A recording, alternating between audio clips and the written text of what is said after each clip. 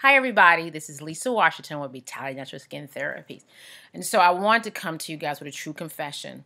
So I have not eaten candy in like decades. I'm not a big candy person, even though I love desserts, but I'm not a super sweet person.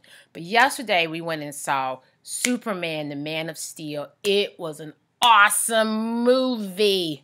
I mean, I love this Superman. Like, and back in the day, my Superman was definitely Christopher Reeve, and I had a crush on him. But I'm so loving the new Superman, and it was incredible. So I, when I go to the movies, I want to have my popcorn, and I love that. I'll do my popcorn. I'm happy with that. But somehow yesterday I ended up with my one of my favorite candies as a child is Reese's Pieces. I love Reese's Pieces. So I got a bag, and I was, I'm just going to eat just a little. But I ended up eating like half a bag of Reese's Pieces.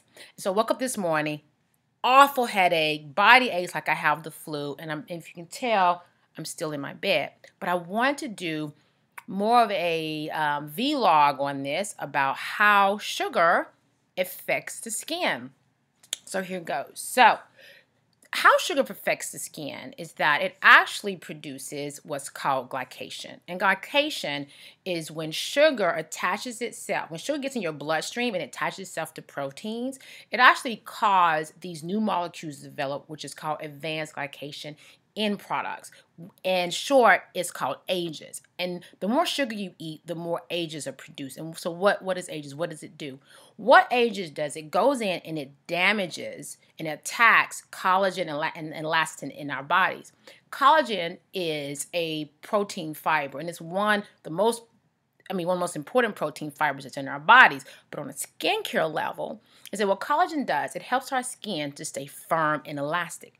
And when ages goes in there and it damages it because all the sugar we're eating, it breaks that collagen down and becomes dry and brittle, which in turn produces wrinkles and sagging skin. Now, this process can show up at early as you know 35, but right after that age of 35 years old, that process is a lot faster. So consuming more and more sugar, you're just speeding up the aging process. Now, sugar also, how I'm feeling this morning, it actually breaks down the immune system. It helps us to not be able to fight off bacteria and infections. So this is why I have this headache and I have all this body ache going on like I have the flu because I'm not a big sugar eater. So I like to call sugar like Reese's Pieces the sweet bully because it's so sweet, but it kind of does a bullyiness on our bodies. But here's some things that you can do. I like to call these my beautiful energy foods. So what I'm doing today, I, feel a lot better than I did earlier today, drinking plenty of clean water, juicing um, fruits and vegetables that are high in vitamin C and carotene. So juicing cucumbers with my celery and my apples and a lot of leafy greens. And within the end of the day, most of the time when I have moments like this, I'm completely fine.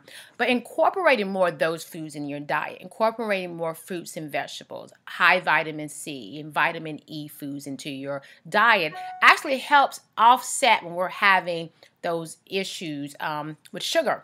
Another thing you can do to help boost collagen, because it's never too late to boost the collagen in your body, is using products that are rich in vitamin C and vitamin C ester, but also using um, one particular product we have here at B'Tyli is B3, which is niacin.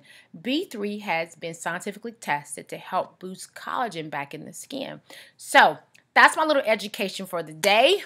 Uh, y'all pray for us, sister, in this headache that it goes away. I'm keep drinking all my water and juicing today, and um, I probably won't see Reese's cups again or Reese's pieces for a really, really, really long time, if ever.